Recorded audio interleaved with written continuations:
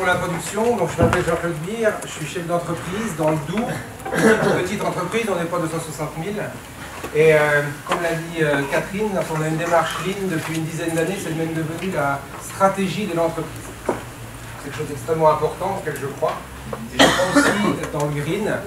Mais comme elle l'a dit aussi, je suis patron et donc je parle avec des patrons. Et je parle comme un patron. Donc quand je parle, quand je dis que le green c'est quelque chose d'extrêmement important, euh, quand je dis qu'il faut absolument qu'on aille vers là, que ce soit mes clients, que ce soit mes actionnaires ou à d'autres patrons, en général j'ai ce type de réaction là. Ils sont tous morts de rire. Alors en ce moment, l'actualité nous aide plutôt bien parce que même si c'est euh, à, nos dépens, après deux ou trois typhons, après un ou deux Dieselgate, on dit euh, peut-être quand même falloir faire quelque chose. Alors on dit ouais, ouais, faire quelque chose. mais pas tout de suite, et puis pas nous.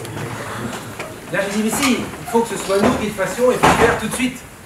Et là en général, ils disant écoute, tu gagnes du fric, mais tu la Et puis, quand j'attendais le train, j'ai attendu longtemps, euh, j'entendais des choses sur l'écologie et il y a une, euh, citation de Dominique Bidou qui disait euh, on ne peut pas être écologiste à l'encontre du désir des gens. je trouve que c'est assez juste. En France, on fait beaucoup d'écologie punitive. À la José Bové, on va faucher les, les champs. Je ne pense pas que c'est comme ça qu'on va changer le monde. En tout cas, qu'on va l'amener vers quelque chose de meilleur et de plus green. Et je pense qu'il faut qu'on trouve quelque chose d'autre, qu'on pense un petit peu différemment. Depuis dix ans, j'essaye de penser lean le plus souvent possible. Et euh, quand on pense lean, on pense réduction des gaspillages, c'est ce qui vient tout de suite. Et quand on dit réduction des gaspillages, il y a une certaine cohérence et une certaine convergence avec le lean, avec le green. Et c'est pour ça qu'aujourd'hui, je ne vais pas faire quelque chose avec beaucoup de chiffres, ça va être assez, euh, vous avez compris dès le départ que ça va être assez basique. Et donc, on va, je vais essayer de voir comment le lead et le green, c'est en fait, pour moi, en tant que chef d'entreprise, pratiquement la même chose. Et je pense même que le, le c'est la voie euh, pour aller, pour aller vers le green. Il y a beaucoup de choses à dire. Ça va être assez long, je sais déjà que je vais dépasser le délai, donc c'est pas la peine de me mettre un peu ça va me stresser. Bref. Avant d'être chef d'entreprise, j'étais chercheur, et donc quand on est chercheur, on fait un peu de bibliographie. Et donc j'ai essayé de voir si ça existait, s'il y avait déjà des relations entre le green et le lean. Alors il y a des petits articles comme ça, et donc j'ai essayé de, démarrer, mais il y a peu de choses scientifiques. Et donc on va aller, on va aller un petit peu plus loin ensemble. Donc euh, le plan, ça va être, je vous présenter un petit peu la société d'où je viens quelques mots autour du lean parce que je veux planter un tout petit peu le décor sur la, sur vision que j'ai et puis après comment on essaye de faire ça pour que ça aille vers le green. On va parler quand même des processus de fabrication parce que c'est important. Et puis derrière, moi ce qui me tient à cœur, c'est d'aller vers quelque chose que j'appelle la Waste Society, la société où ne fabrique plus rien qui doit être jeté. Alors Alliance, c'est une petite société dans le Doubs. Euh, juste pour dire qu'on existe, on est une société industrielle avec des vrais processus. Donc on a une vraie, usine avec des presses, avec des machines, avec des fours. Et moi, quand j'entends les presses injectées, les fours chauffés, tout ça, je suis content parce que je sais que c'est là qu'on fait de l'argent. Euh, et puis, sur la société, ce qu'il faut quand même dire, euh, Alliance MIM, le nom vient euh, de sa fondation. À l'époque, en 95, c'est un gros changement sociétal. Nos actionnaires sont, viennent du monde de l'horlogerie, suisse et française. Et à l'époque, c'est la croissance du luxe. Et ils ont affaire à un problème assez, assez sympa, c'est-à-dire qu'il faut produire beaucoup plus et produire aussi beaucoup moins cher. Et donc la, technique que tout le monde a pris sous feu, c'est d'aller en Chine chercher de la pièce en plus grosse quantité, moins cher. Et eux, ils se sont dit, on veut garder absolument le savoir-faire, et on va s'associer entre concurrents. Donc déjà, ça, c'est pas simple, surtout quand ils sont francs-comtois et suisses. Et en plus, à la place d'usiner la pièce, on va la faire pousser autour de ces trous, je vais revenir là-dessus, donc on va prendre un processus de fabrication qui est complètement différent, qui est complètement innovant, qui est beaucoup plus efficace pour être moins cher en restant local et en, ayant la maîtrise de ce processus. Donc ça, on est vraiment sorti de sa zone de confort, ça on sait vraiment ce que ça veut dire, parce que là, là on l'a vraiment fait. Et donc on est une société fondée par des fabricants d'horlogerie. Tout le processus est basé sur la métallurgie des poudres. On est 125 personnes et la fabrique, elle, est à Saint-Vite, donc dans le Doubs, en France. Ce qu'on fabrique, j'ai dit qu'on était horloger, on fabrique évidemment des pièces d'horlogerie. L'Apple Watch d'Hermès, c'est nous qui fabriquons la boucle. C'est un truc qu'on est assez fiers. On fabrique des pièces de médical, on aussi des pièces d'aéronautique. Et puis on a eu un produit extrêmement particulier. Dans les années 2000, c'était le boom du téléphone portable. Téléphone portable, c'est le premier produit avec une seule gamme. Dans les années 98-99, c'était en pleine croissance. Nokia et les autres avaient des téléphones, mais il y avait un souci, c'est que euh, quand vous étiez émir ou bien euh, un riche russe, vous aviez le même téléphone que le chauffeur de taxi. Ça, ça ne pouvait pas durer. Il faut savoir a des gars, quand vous avez des sous, vous avez des montres très chères, des voitures très chères, vous avez des très chères. Mais là, il n'y avait pas. Ils se sont dit, on va faire le téléphone pour les riches. Euh, et là, ils sont venus euh, naturellement chez nous, parce que je vais revenir sur la technologie, mais nous, on fabrique des pièces métalliques en se basant sur l'injection plastique. Comme les téléphones sont entièrement injectés, ils se sont dit, bah, c'est la même technologie. Et comme nous, on travaillait déjà dans le luxe, eh ben, ils sont venus naturellement chez nous. Et ça nous a porté sur une très forte croissance, 40% par an pendant plusieurs années, c'était très dur à vivre, mais à la fois extrêmement intéressant. Alors, là, il est intéressant de voir pourquoi on vient au Lean. Le Lean, c'est un peu comme la course à pied. Euh, tout le monde, certaines personnes en font, mais pas pour les mêmes raisons. On peut en faire pour être le champion du monde, pour être le premier. Nous, on est tout seul en France, donc c'était pas le, la raison. On peut en faire parce que c'est la mode. Moi, Franche-Comté, la mode.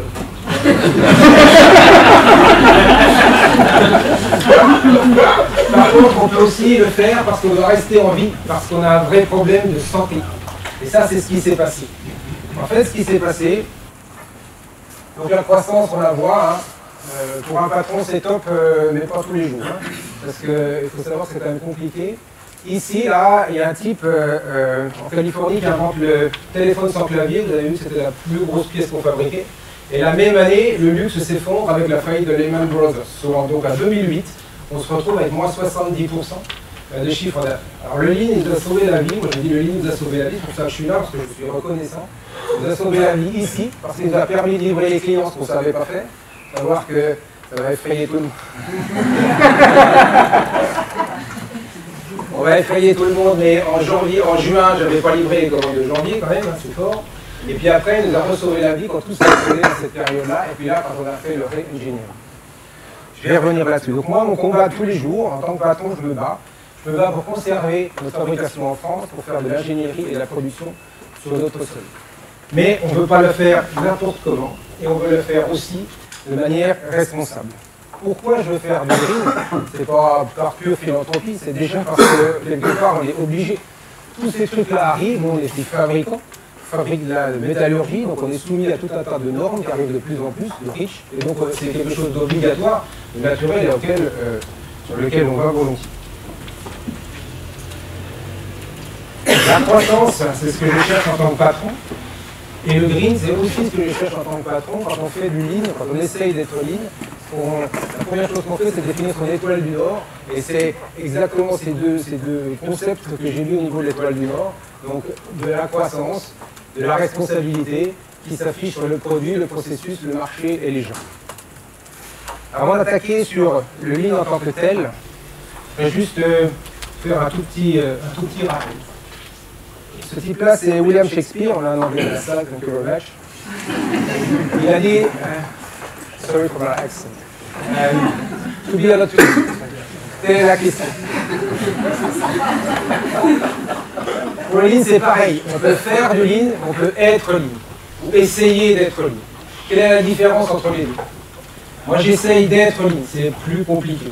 La différence, je vais essayer de vous l'expliquer assez, assez facilement.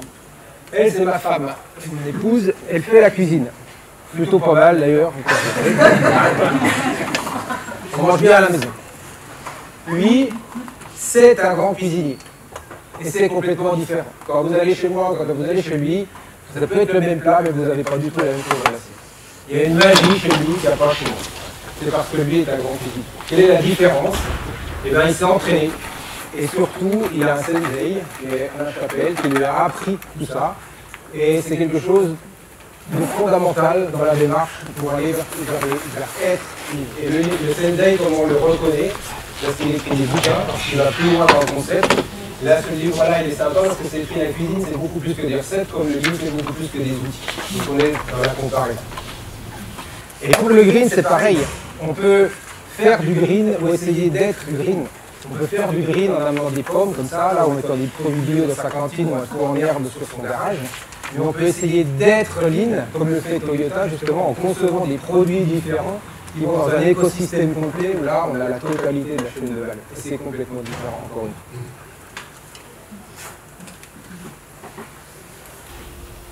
Je suis exprimé en tant que patron, mais je peux m'exprimer aussi en tant que citoyen, en tant que chimiste. Ce qui compte, c'est cette petite planète-là. Et ça, c'est un système fermé. En chimie, un système fermé, c'est quelque chose qui ne peut échanger qu'un peu d'énergie avec l'extérieur. En tout cas, aucun solide. Et cette planète-là, elle est unique, elle n'en a qu'une. Donc il faut quand même faire. On a parlé tout à l'heure beaucoup de la ressource. Que la ressource va s'amenuiser. C'est sûr, je ne suis pas sûr que ce soit le, le point qu'il aller, sur lequel il faille aller le plus vite, parce qu'on va toujours, il y a déjà énormément de ressources encore dans les sous-sols, et qu'on va toujours trouver des solutions techniques. Par contre, moi, ce qui me concerne, quand je, quand je regarde le monde dans lequel je vis, c'est plutôt les rejets. Les rejets sont colossaux, il y en a de plus en plus et ils sont maltraités. Et quand on regarde, quand on va à Pékin, si on veut euh, soulever une pelle, c'est quand même plus facile parce qu'il n'y a pas de masque.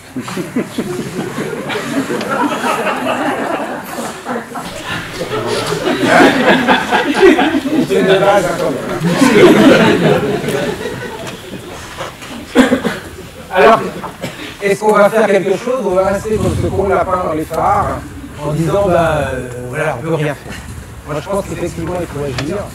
Alors en France, on a des possibilités multiples d'agir, parce que nous les champions du changement, tout le monde le sait. on peut faire comme lui. Lui c'est Louis XV.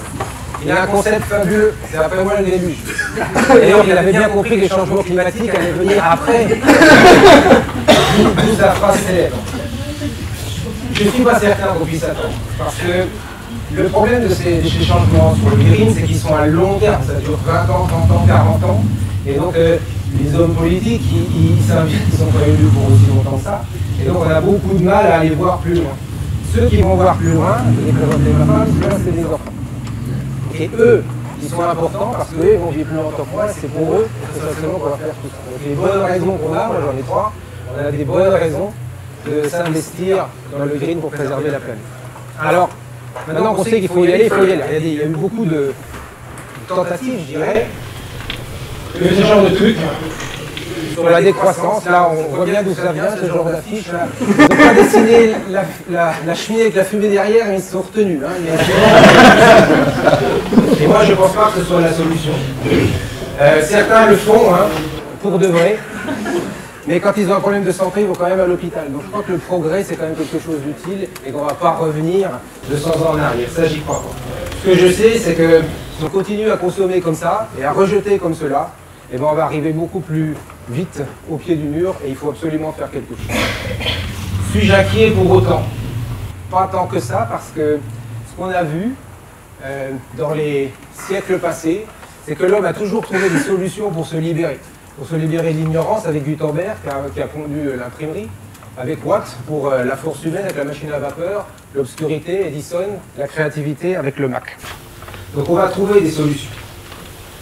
Mais ces solutions-là, il va falloir, comme je disais tout à l'heure, sortir de la zone de confort et euh, s'adapter au monde qui va arriver.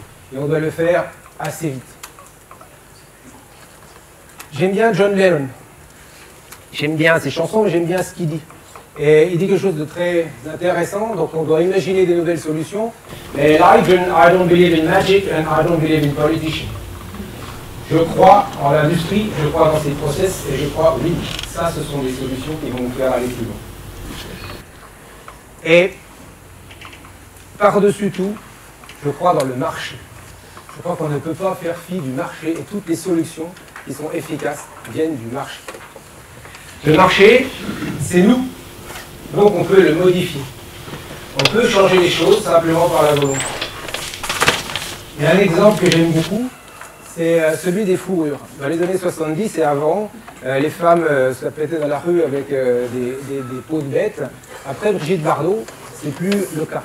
Donc on a réussi à changer le marché de manière assez simple. Alors Brigitte Bardot et Brigitte, vous savez, c'est des femmes qui savent ce qu'elles veulent en général, donc on n'est pas tous aussi, on n'a pas tous la même volonté qu'elles, mais on peut y arriver. Et de toute façon, ce qu'il faut, c'est avoir un bénéfice pour la société. Qu'est-ce qu'on peut faire dans nos produits, dans nos processus, pour réduire le gaspillage? Certains disent on peut aller sur le Made in France. Moi, je pense que ce n'est pas la solution absolue. On sait très bien faire de la merde chez nous. Zéro, c'était chez nous. Et ça, c'est pas green. La solution, pour moi, la vision, c'est que le produit est le processus. Et c'est là où on va aller vers quelque chose qui sera de plus en plus green, à la fois pour le produit et pour le process qui le fabrique. Et la clé de, tout, de tout ça, c'est évidemment de sortir de sa zone de confort, comme on l'a fait, puis qu'il faut qu'on le refasse encore, parce que même si on l'a fait une fois, ça revient vite de s'installer dans sa zone. Et il est temps maintenant de penser à l'usine du futur, parce que c'est vers là qu'on va aller. L'usine du futur, ma définition personnelle, ça n'engage que moi, c'est une usine qui sera évidemment digitale, ça je crois qu'on ne peut pas y passer, il ne peut pas y échapper. Elle sera connectée, ce n'est pas la même chose, mais surtout elle sera green. Et une petite parenthèse au sujet de l'usine du futur. J'ai entendu un reportage il n'y a pas longtemps. On a dit que le produit, c'est le process. Donc l'usine du futur, c'est pour le produit du futur. Moi, j'ai vu des usines du futur pour les moteurs diesel. Je trouve ça un peu tarte. Et donc là, on va commencer.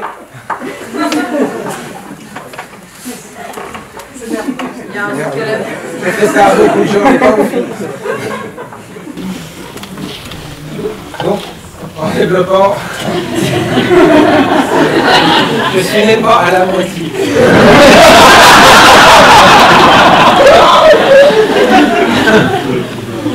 Donc avec des nouveaux processus. Là, je vais parler de nous. Euh, j'essaye de sortir la métallurgie de l'âge de pierre, tout seul, c'est pas facile. Hein. Notamment euh, en utilisant plus de processus de croissance par rapport au processus d'extraction. Aujourd'hui, quand on fait une pièce métallique, il y a plusieurs grandes technologies, donc l'usinage, c'est-à-dire on va prendre une barre et puis on va aller piocher la pièce là-dedans, on va l'extraire, on va prendre une tôle, on va les découper, on va fabriquer en gros 30% de pièces, 70% de gaspillage. Tout ce qu'on essaye de faire, c'est de faire pousser la pièce autour de ces trous, exactement de cette manière-là, comme une pièce d'injection plastique, avec un canal d'injection qu'on rebroie, qu'on réinjecte, donc en utilisant uniquement la matière nécessaire à fabriquer le produit. Et ce qu'on dit, mais c'est pas ça qui nous fait vendre, c'est qu'on a un processus qui est lié à la nature, c'est-à-dire que comme un arbre, comme un légume, on le fait pousser autour de ses trous. Par contre, en termes de rendement, d'exploitation matière et de rejet, on est la technologie, donc c'est la, barre verte, qui est la plus efficace à tous les points de vue. Et c'est pour ça qu'elle est moins chère. C'est ce qui intéresse l'actionnariat, c'est ce qui intéresse les clients, que les choses soient claires. Ils viennent pas chez nous parce que c'est green, ils viennent chez nous parce que c'est moins cher. Un exemple chiffré, sur une pièce, ça c'est un contre-angle de dentiste, cette pièce, vous savez, où il y a son des produits qu'on fabrique à raison de 1000 par semaine. Euh, si on les usinait, la fabrication traditionnelle usinée par rapport à la nôtre, on économise uniquement du sur les 5000 pièces. Et on fait 1000 pièces par semaine. Ça vous dit simplement là-dessus, sur le, et je ne parle même pas de l'économie sur le retraitement des copeaux, sur l'huile et sur tout ce qu'on n'a pas dû faire du fait de l'utilisation de cette technologie. On dit que le produit était le process, mais l'inverse est vrai aussi. Le process devient le produit. Alors, je vais entrer dans la comparaison entre le lean et le green, pour à la fin arriver au fait que ça ne veut pas la même chose. Et en se posant la, question de c'est quoi le lean? Il y avait euh, un présentateur ce matin qui disait avec ma fille de 12 ans, euh, et on sait que si on n'arrive pas à expliquer à un enfant de 12 ans euh, un concept, eh ben, c'est qu'il n'est pas clair dans sa. Alors c'est quoi le lean un enfant de 12 ans?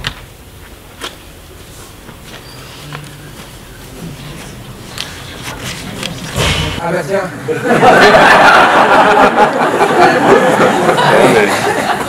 Fallait être à l'heure. Comment je peux expliquer l'île à un enfant de 12 ans? Je dis quoi?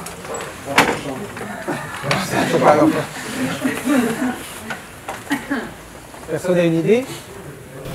Moi, je lui ai dit, c'est faire des trucs pas cons, pas idiots. Ça, c'est l'île. Et gaspiller, c'est idiot. Faire des pièces pour les stocker, c'est idiot. Faire de la mauvaise qualité, c'est idiot. Et pour le green, c'est pareil. Donc le lean et le green, c'est d'abord faire des trucs pas cons. Quand on attaque euh, une démarche lean, la première chose qu'on fait, c'est un des piliers de l'édifice, euh, c'est de travailler la qualité. La qualité d'abord, on doit se sortir de la gang des problèmes de qualité, c'est clair. Vous avez vu, j'aime bien les citations. Et sur les lignes green, je n'ai pas trouvé, je les ai fait moi-même. Donc,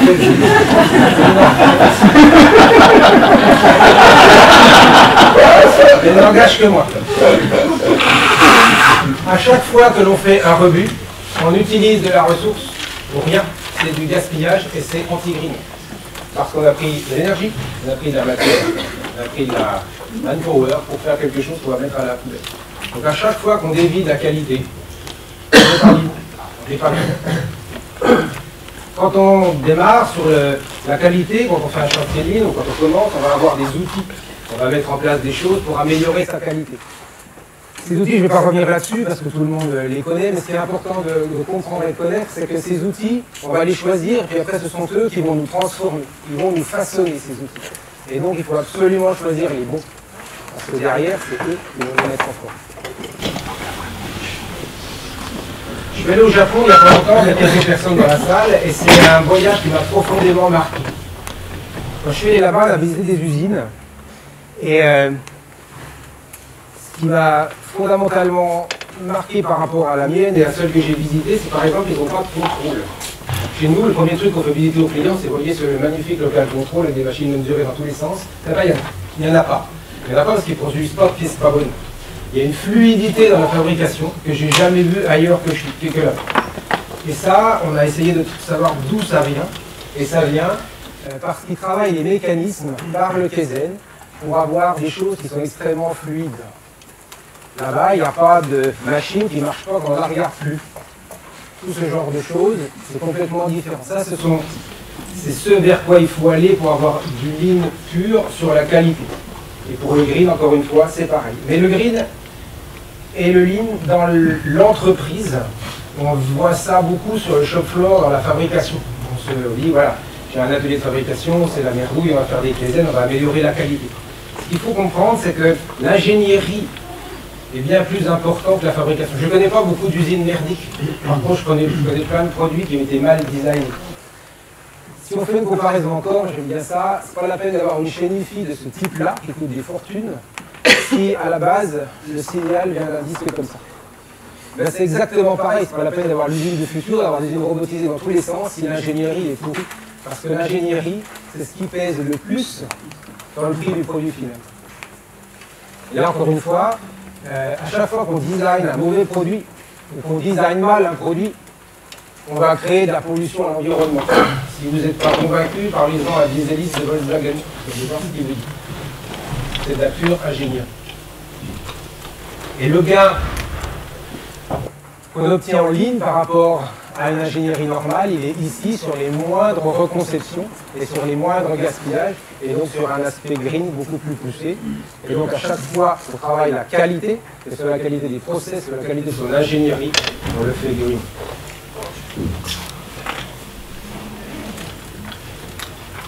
Tout ça, c'est compliqué. On a du bol, parce qu'il y a un secret.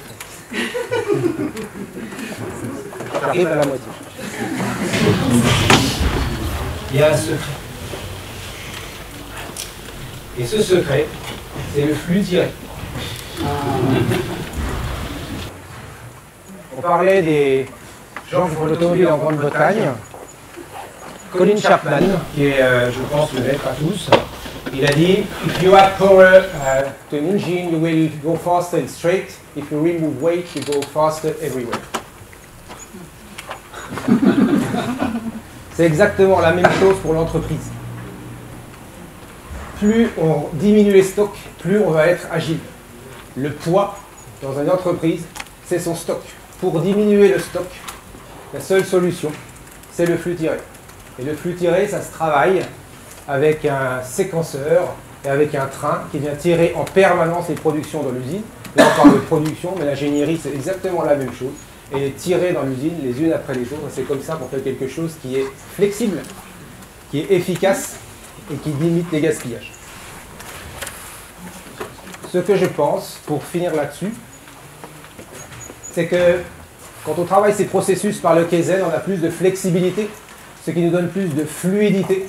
Et à la fin, ce qu'on obtient, c'est plus de frugalité.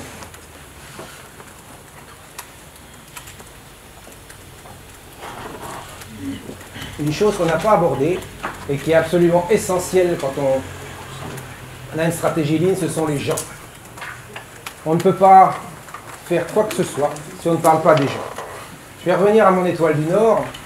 On a parlé ici de la croissance, on a parlé de green, mais il y a quelque chose qui est super important ici, c'est le people. Comment traduit-on le green vis-à-vis des gens? C'est pas évident, on peut leur demander d'arrêter de fumer, mais c'est pas suffisant. Le green, moi je le conçois en tant que responsabilité. Donc quelle est ma responsabilité de chef d'entreprise vis-à-vis des gens?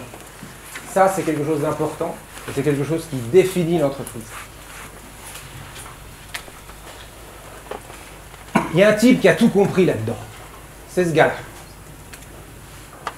Patrick Lelay, il dit Soyons réalistes, le métier de TF1, c'est d'aider Coca-Cola à vendre son produit pour que le message publicitaire soit perçu, pour que le cerveau du téléspectateur soit disponible. Nos émissions pour vocation de le rendre disponible et rien n'est plus difficile à obtenir que cette disponibilité. Il a tout capté. C'est génial. Pas très responsable, mais c'est génial, c'est exactement ça. Moi, en tant que patron, je pense la même chose sur la fin. Je dis, dans le monde d'aujourd'hui, on n'utilise euh, pas la ressource humaine, si on peut exprimer ça comme ça, pour euh, charrier des blocs de béton. C'est fini ça. Euh, maintenant, on utilise les gens pour autre chose, on utilise les gens pour leur cerveau. Vous, vos patrons ne vous payez pas pour vos bras, généralement, ils vous payent plus pour vos cerveaux. Dans l'entreprise, même si une entreprise avec du travail manuel, c'est exactement la même chose. Moi, mon boulot de patron, c'est de faire en sorte que les gens donnent le meilleur d'eux-mêmes. Et ça, je ne peux pas les forcer. Je peux les forcer à arriver à l'heure peux les serrer, je peux les forcer à s'habiller comme une certaine. Je ne peux pas les forcer à donner le meilleur d'eux-mêmes. Ça, c'est pas possible. Pour ça, ça doit être une décision de leur part. Et rien n'est plus difficile à obtenir que leur disponibilité de leur cerveau. Ça, c'est sûr. Et ce dont on va parler là, c'est ce point-là. Pour avoir de la disponibilité de cerveau, on peut travailler euh, une organisation qui est basée sur le respect des gens et sur l'homme au centre les femmes connaissent bien cette, euh, comment j'ai appelé ça, cette charge mentale. Voilà, les hommes un peu moins. Euh, la charge mentale, c'est euh, quand on arrive au boulot et qu'on a déjà complètement gavé, c'est plus compliqué d'être efficace. Par exemple, quand on veut prendre le train le matin et qu'il n'est pas là, faut...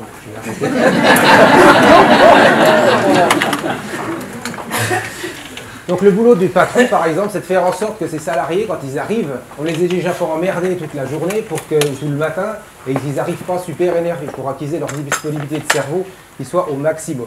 Et le truc qui est le pire pour ça, alors les, les Anglais pensent qu'ils ont le meilleur sorcier, mais c'est nous qui avons le meilleur sorcier en France, parce que nous, on a une baguette magique. Dès qu'on touche quelque chose, ça devient de la bureaucratie. C'est un truc de dingue. Alors le lean, ce n'est pas de la bureaucratie et la bureaucratie n'est pas green. Il faut absolument réduire cette bureaucratie qui est partout et qui nous augmente la charge mentale en permanence. Parce que derrière, il ne reste plus rien pour le client. Il ne reste plus rien pour le produit. On parlait organigramme tout à l'heure. Nous avons un organigramme, mon Dieu. 260 000. Hein. Présentez pas les amis. Voilà l'entreprise française traditionnelle, des cerveaux en haut, des mains en dessous. Ça, pour moi, c'est over. Il n'y a plus personne qui travaille comme ça. Enfin, si, mais il vaut mieux pas, quoi. Et ce qu'on recherche, moi, ce que je recherche chez moi, c'est exactement ça. C'est-à-dire des cerveaux partout. Et beaucoup moins de strates administratives. Parce que ça, c'est efficace et ça, ça fonctionne. Parlons un tout petit peu du cerveau. Le cerveau, ça bosse en deux modes, le mode 1 et le mode 2. Le mode 2, c'est le mode automatique, c'est quand on fait quelque chose qu'on connaît bien, quand on rentre chez soi, euh, on, conduit en mode 2, pour ça dans les accidents justement, parce qu'on fait pas attention. Le mode 1, c'est quand on fait attention, quand on est attentif et quand on apprend. Moi, mon boulot de patron, c'est de garder le maximum de gens en mode 1. Mon boulot de conférencier, c'est de regarder le maximum de vous en mode 1. Pareil. Et ça, c'est fatigant. Ça demande du sucre. Et donc, il faut nourrir ce cerveau et nous sommes ce que nous mangeons à la molécule près. J'entends beaucoup de, je vois beaucoup de conférences sur le lean, beaucoup de conférences sur le green, mais on ne parle jamais de la santé des, collaborateurs. Et c'est absolument vital que tout le monde soit en forme. On est des sportifs de haut niveau. Quelle est la différence entre nous et un sportif de haut niveau? Salaire Salaire. Pour vous, oui, pas pour moi. C'est pas trop.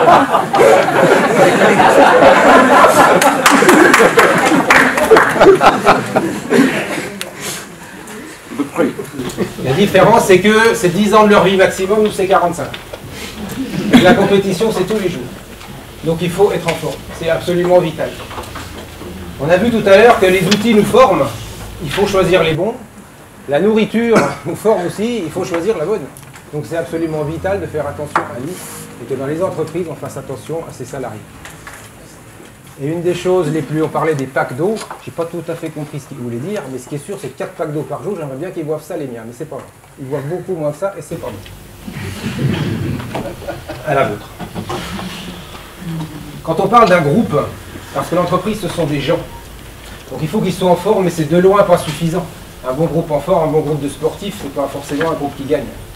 Euh, quand on va dans le lean, quand on la production, quand on met le flux tiré, notamment quand il y a un ordon, on va créer dans l'entreprise une tension. Et dans le projet, c'est exactement pareil. On va créer cette véritable tension, c'est ça ce qui fait bouger les lignes. Mais il faut faire attention parce que tout le monde connaît l'allemand. Je viens de l'Est, alors bon. En gros, ça dit que ça, c'est de l'art de la guerre de, de Clausewitz, qui dit que faire la guerre, c'est facile, c'est plein de petits process les uns à côté des autres, mais parce qu'on est en guerre, cette association de processus va créer une friction qu'on ne peut comprendre que quand on est en guerre. Et eh bien, quand on produit, quand on essaye de produire en France, on fait plein de petites choses simples. Euh, une carte pour le train, c'est pas très compliqué.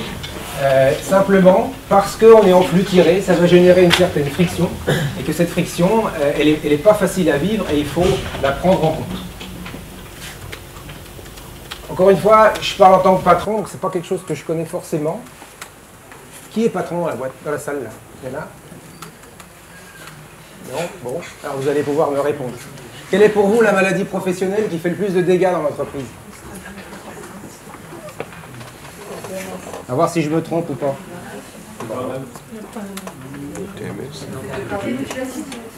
Allez, on approche. L'ennui. L'ennui. Vaut sous lui.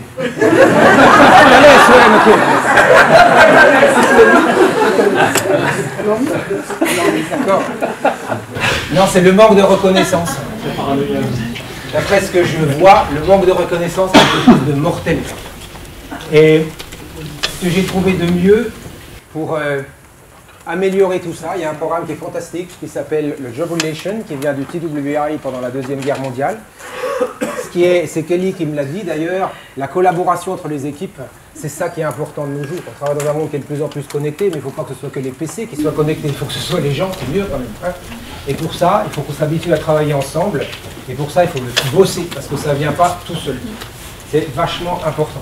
Et lancer des chantiers, une stratégie lean, si les gens sont pas prêts, ça ne fonctionne pas. Ce qui est important dans une équipe, c'est essentiellement développer la confiance. Est-ce que dans vos boîtes, vous développez la confiance? Quand on rentre dans des sociétés où c'est ce genre de truc, c'est pas forcément bon pour la confiance, c'est pas forcément bon pour les équipes. Petit exemple encore. Vous savez, ces films, j'aime bien ces films, euh, ça me relaxe le soir là. Mais quelque part, c'est pas si idiot que ça. Quand on regarde les sept mercenaires, le gardien de la galaxie, ce qu'on voit, c'est qu'à chaque fois, la construction d'une équipe, elle passe par la construction de la confiance. Au début, ça marche jamais, ils peuvent pas se saquer, puis à la fin, ça fait des trucs fantastiques, mais c'est parce qu'ils ont acquis la confiance. Et ça montre aussi, parce que ça, c'est les joueurs de foot de l'équipe de France qui sont pas sortis de leur bus en 2012, là, où l'Afrique du Sud. C'est pas un problème de pognon pour être motivé, parce qu'eux, ils gagnent, hein, que les choses soient claires. C'est un problème de confiance. Quand la confiance n'est pas là, on peut avoir les meilleures conditions de travail qu'on veut, ça ne marche pas. La confiance, c'est fondamental. Et le job du patron, c'est aussi de créer tout ça, de faire tout ce qui est possible pour que ça continue. On a parlé de la qualité, on a parlé du flux tiré, on a parlé de l'ingénierie. L'étape qui suit, c'est l'innovation.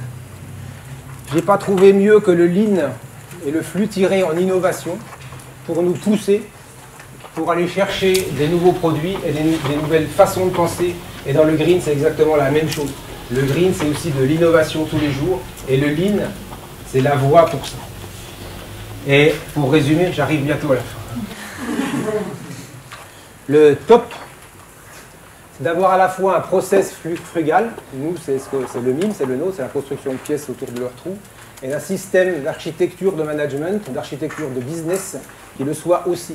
Et les deux ensemble, c'est comme ça que je considère le green.